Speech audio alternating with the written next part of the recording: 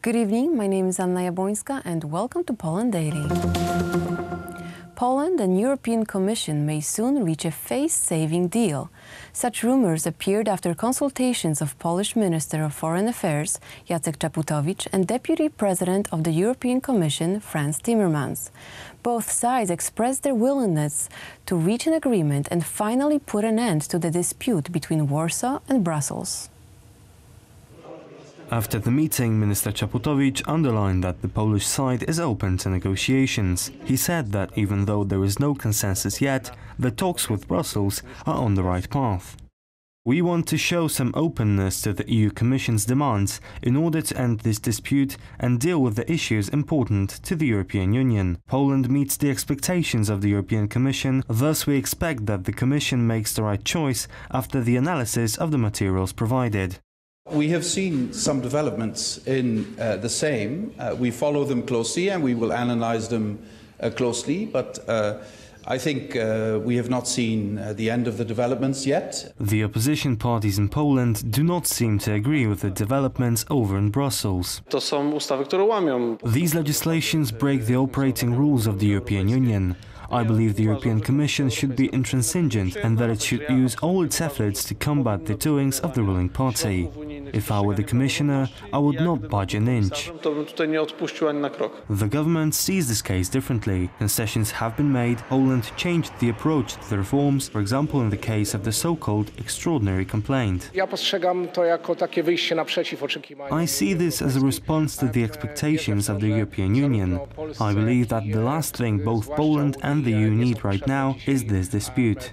On the other hand, these concessions do not disrupt the sole idea of the judiciary reform, so I don't see them as any kind of danger. Te rozwiązania nie burzą idei samej reformy wymiaru sprawiedliwości. Senator Jan Maria Jackowski points to the political background of the European Commission dispute. As he says, measures such as the one proposed by the Polish government are already at work in other European countries. Komisja Europejska y, w sposób y, powiedziałbym I would say that the European Commission approached the subject from a political standpoint instead of a substantive one. I want to reiterate that this dialogue has been ongoing for a number of months, with the Polish side introducing the stance of the Polish government and made it clear that none of the measures undertaken in the judiciary reform deviate from the European standards. The ball is in the European Commission's court. Poland has put their concessions forward and, as Minister Czaputowicz said, we are expecting the Commission to make the right decision. What we know for sure is that the biggest sanction, which would be the implementation of the Article 7 against Poland, is no longer a threat. The European Commissioner for Economic and Financial Affairs, Pierre Moscovici, posted the EU economy estimates for the year 2018 on Twitter yesterday. The overall economy of the Union is set to grow by 2.3%. However, what is much more hopeful is the estimate for Poland. According to Moscovici, our country is leading the charge in Europe, as Poland is set to provide a 4.3% growth. That would place us before countries such as the Netherlands, Spain, Germany, France, and Italy. Matura or exit exam that each and every graduate of high school in Poland must pass before entering university is a tradition extending back to the Napoleonic Wars at the beginning of the 19th century. Exams are taken in early May and start with written essay of the Polish language. To pass the written part of the exam, the pupil must demonstrate extended knowledge of over 500 years of Polish literature, be able to put that into historical and cultural context, and from that prove that he is able to draw logical conclusions. All that with correct spelling and grammar.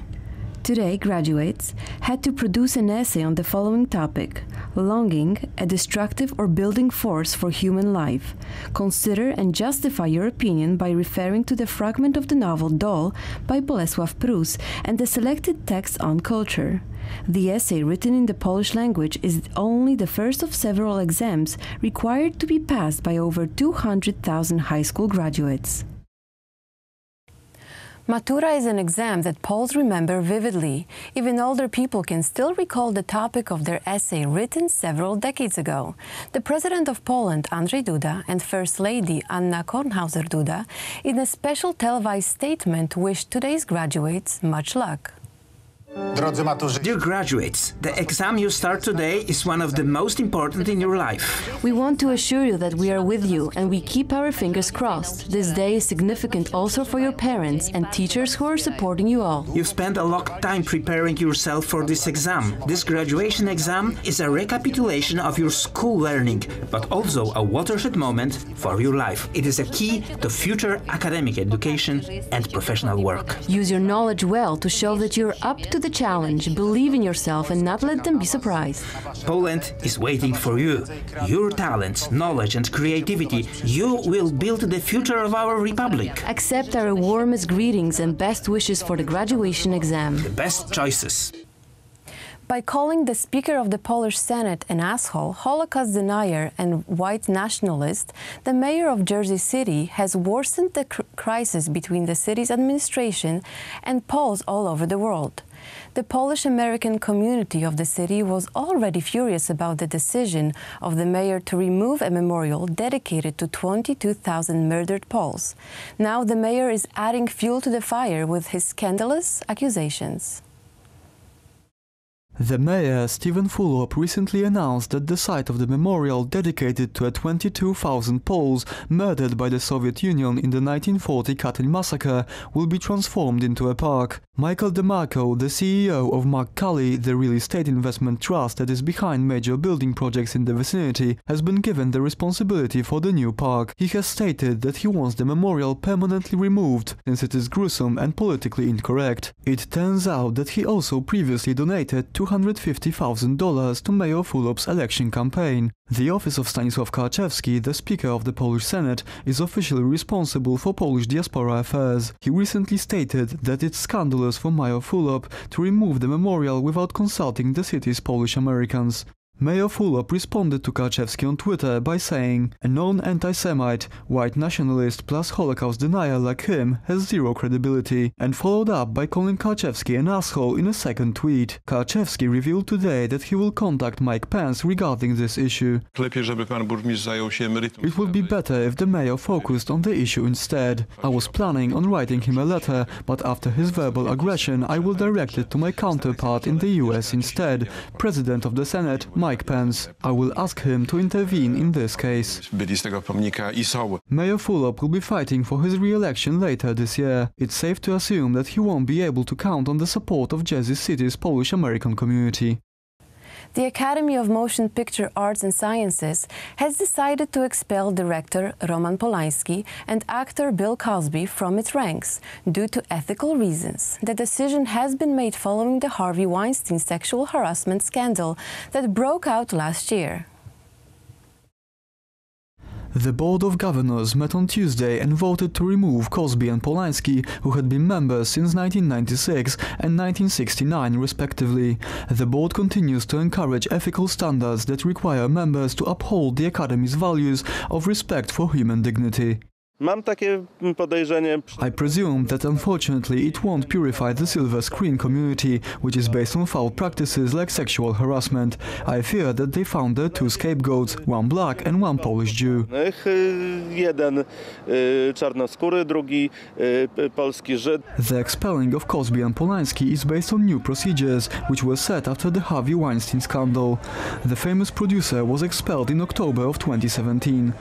Środowisko libertyńskie Hollywood. The libertarian community of Hollywood has an enormous influence on the public opinion of the entire world, even on politicians.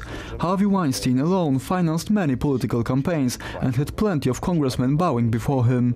No wonder the Hollywood community feels untouchable. I politycy tam, że tak powiem, kłaniali mu się. The lawyer for Roman Polański, Harland Braun, stated in an interview with Vanity Fair that the Polish director will demand due process. We want due process, that's not asking too much of the Academy, is it? The fact that the Academy is now taking an interest in Polanski's case when the US government has been investigating him for years shows that it hasn't been a problem for Hollywood until now. wcześniej problem. Dla mnie to jest kolejna hollywoodzka komedia, no. For me, this is just another Hollywood comedy. After more than 40 years, the Academy has suddenly reminded itself of Polanski. It's a joke. Mógłby być wizytówką. Polanski, who received an Oscar for The Pianist in 2003, is wanted by the US judiciary since 1977, when he fled the United States before the ruling of the Los Angeles court in the Samantha Geimer rape case. Thank you for watching Poland Daily and please join us tomorrow at the same time. Good night.